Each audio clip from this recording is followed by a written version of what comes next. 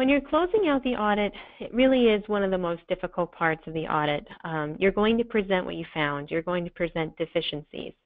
Um, you know, your auditor should be trained to provide the suppliers suppliers with notice of a deficiency or a deviation um, as soon as it happens, so it's not a surprise during the closeout session.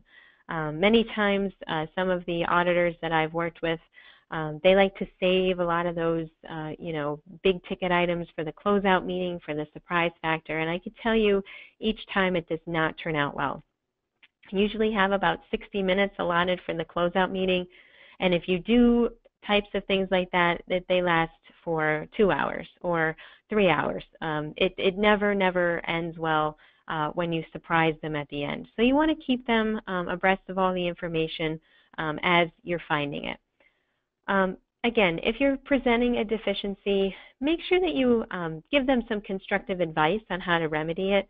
Uh, don't ever tell them this is how I want you to remedy it, but you know, giving them some pointers or maybe some have some ideas um, you know, really is, is very helpful and kind of softens the blow uh, as well.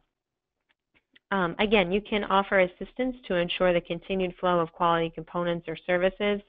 Um, you know, again, that you can tell them that you can be an ongoing resource um, if they want to kind of, um, you know, bounce some ideas off of you as to how to fix things, um, certainly keep that door open.